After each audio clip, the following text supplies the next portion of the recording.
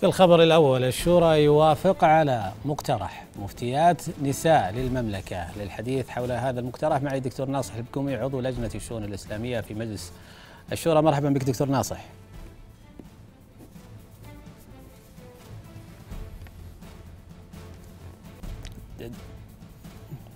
إذا إذا كان الدكتور ناصح معنا للحديث حول هذا المقترح الذي يبدو غريبا قليلا على الشعب السعودي ولكنه مقترح يعمل به إذا كان فيه فائدة للجميع. إلى ربما يعود معنا الدكتور ناصح وإلى أن يعود نسأله حول هذا الموضوع وفي الخبر الثاني الإنذار المبكر أتربة وسحب ممطرة تؤثر في مناخ سبع مناطق. للحديث حول هذه التأثيرات المناخية مع الأستاذ حسين القحطاني الناطق الإعلامي للرئاسة العامة للإرصاد وحماية البيئة. أستاذ حسين مرحبا.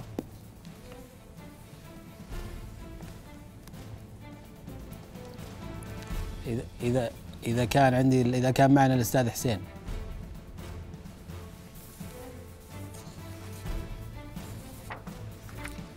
ولو أنه التأثيرات المناخية في هذا الوقت تحديدا وأعتقد بأننا مقبلين على مرحلة تحول كما قرأت أحد الذين يهتمون بهذا الموضوع. يقول نحن في آخر أربعة أيام من الصيف.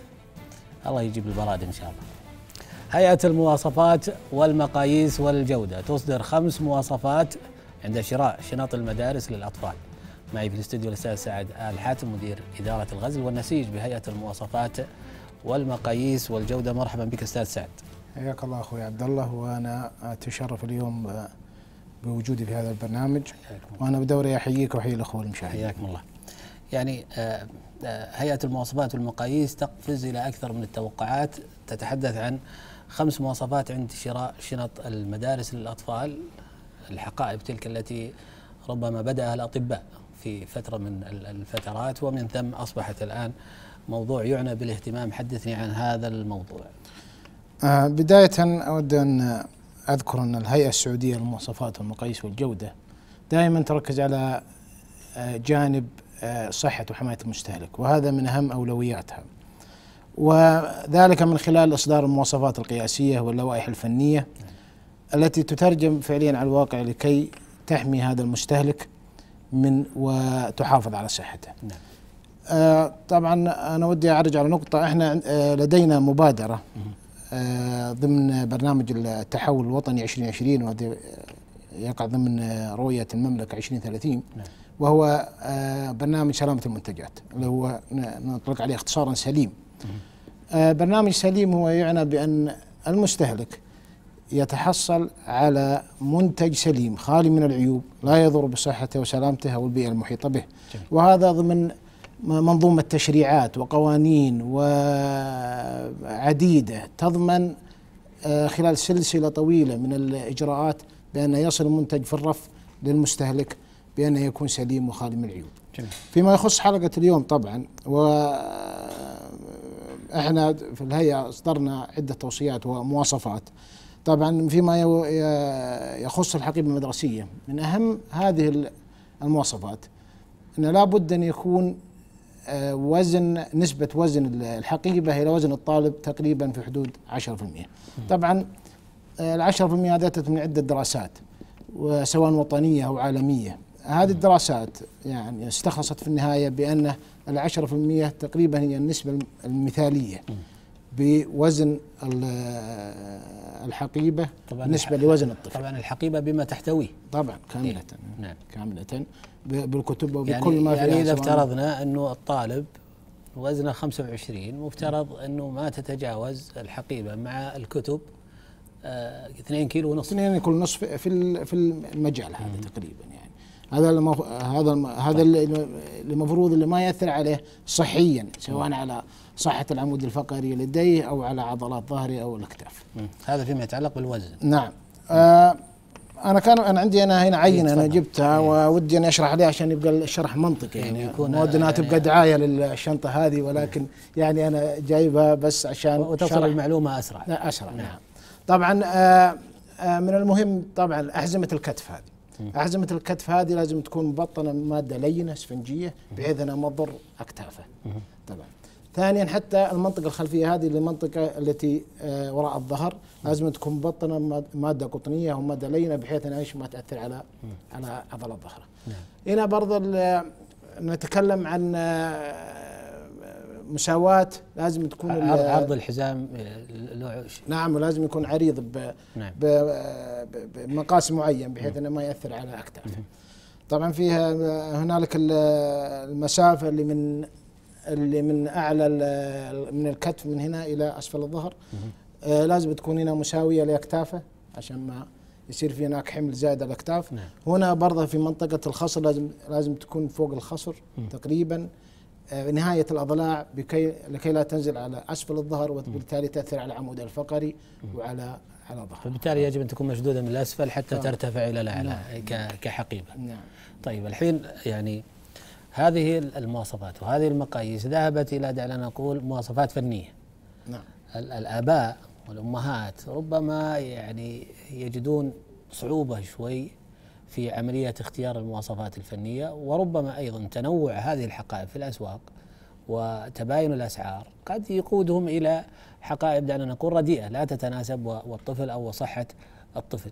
لماذا نحن نتحدث الآن عن هذه المواصفات لهذه الحقيبة وأهمية الموضوع؟ آم، هي منظومة متكاملة ليست فقط مواصفات فنية. إنما حتى الهيئة سعت بأنها يعني آه، يكون هنالك آه، توعية في هذا الموضوع. لذلك إحنا لدينا حملة الآن أطلقت اسمها حملة سليم. حملة سليم هذه آه، حملة أطلقت قبل ال- العودة للمدارس للتعريف بالمواصفات الفنية والاشتراطات التي تتوافر في جميع المستلزمات الدراسية بما فيها الحقائب. أنا لدي بروشور هنا وهو. طيب. موجود. هذا البروشور يعني نفس ال- المواصفات اللي ذكرتها قبل قليل ولكم. شيء على شبكات التواصل على تويتر موجود شيء. موجود في الحساب الرسمي لل- للهيئة في تويتر وموجود في موقع ال- الهيئة الرسمي ومتوفر بشكل بسيط و يعني متميز بحيث إن أي آه، قارئ له سواء كبير أو صغير يفهم المعلومات ال- الموجودة فيه. طيب مبادرة سليمة الآن من دورها أن تحد من استيراد أو منع استيراد الحقائب الرديئة الآن إحنا في مرحلة التوعية. جميل. توعية الآن. الآن لدينا مشروع مع آه، وزارة التعليم ممثلة في وكالة الوزارة للمناهج والبرامج التربوية. وهذه المبادرة الوطنية تسعى آه، نضع مواصفات واشتراطات بحيث أن هذه آه، تصبح منظومة كاملة تطبق في في جميع المنافذ والأسواق ويصير عليها رقابة شاملة كاملة بحيث أن يتم أي منتجات رديئة يتم آه، يتم سحبها من الأسواق. جميل جدا. الأستاذ سعد الحاتم مدير إدارة الغزل والنسيج بهيئة المواصفات والمقاييس والجودة. تطرحون موضوع في غاية الأهمية. البعض ربما يراه أنه من الترف ولكن إذا كان هذا الترف يضمن سلامة أبنائنا وصحتهم فالحمد لله على ذلك ومشكورين. شكرا جزيلا لكم نشاهد هذا التقرير حول هذا الموضوع ونستكمل. مع بداية العام الدراسي الجديد. يتوجه الآباء والأمهات إلى الأسواق لتجهيز وشراء مستلزمات العام الدراسي من حقائب وقرطاسية وملابس. والقليل من أولياء الأمور يتبع المواصفات الصحية اللازم توافرها عند اختيار الحقيبة الدراسية.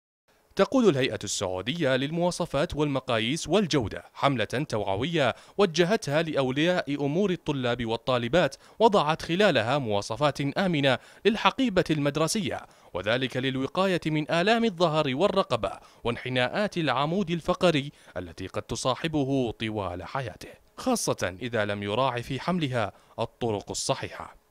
وشملت التوصيات التي أطلقتها الهيئة الفصول والمختبرات المدرسية وشددت على منع استخدام التوصيلات الكهربائية داخل الفصول إلا للضرورة وغسل الملابس قبل استخدامها لإزالة بقايا الأصباغ والمواد الكيماوية المستخدمة في التصنيع.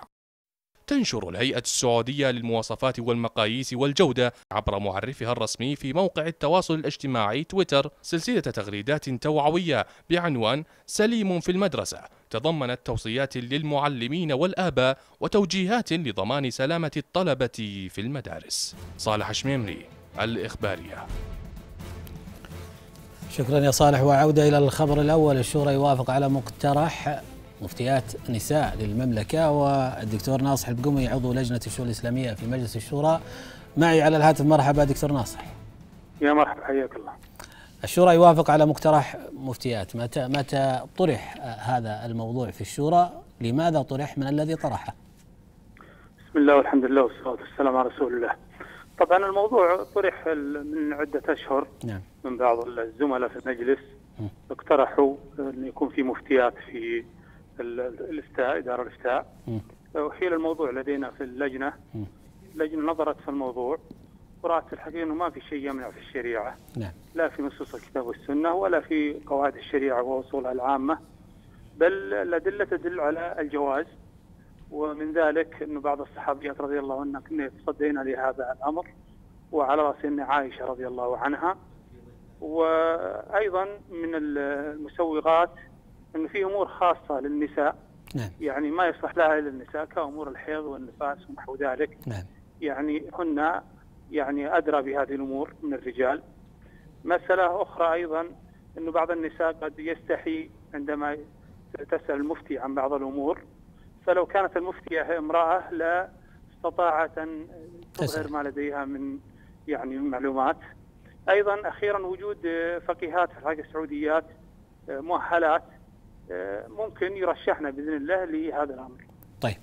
ذكرت بأنه الزملاء هم من طرح الموضوع. الزميلات ما طرحوا الموضوع في المجلس؟ والله ما أذكر أظن واحدة من الزميلات وواحد من الزملاء أو أكثر. طيب نعتقد والله لا أسمع. نعتقد بأنه الموضوع آه، في في مرحلة الحاجة إلى وجود مفتيات؟ الآن؟ نعم. والله هو لا شك إنه بعدين يعني في سيرفع الأمر للجهات العليا ينظر فيه. نعم. وأيضا قد يحال لسماحه المفتي لأخذ رأيه. نعم. ونسأل الله أن ييسر ما فيها الخير للأمة. عادة بعد الموافقة على مقترح ما الخطوة الثانية ل- لهذا القرار؟ طبعا هو سيصدر في قرار من المجلس في هذا الأمر. نعم. ثم يرفع للجهات العليا. والجهات العليا طبعا تناقش الأمر مع الجهة المعنية اللي هي الافتاء نعم. ومثل ما ذكرت يعني ما, ما في شيء يمنع. جميل. وأتصور إن شاء الله أن يكون في تجاوب في الموضوع. جميل. الدكتور ناصح البقومي عضو لجنة الشؤون الإسلامية في مجلس الشورى. شكرا جزيلا لك. ولهذا القرار لك. الذي طرحه مجلس الشورى والمصطلح الجديد الذي سوف نسمعه قريبا. جزاك الله خير يا شيخة. في أمان الله. حياكم الله.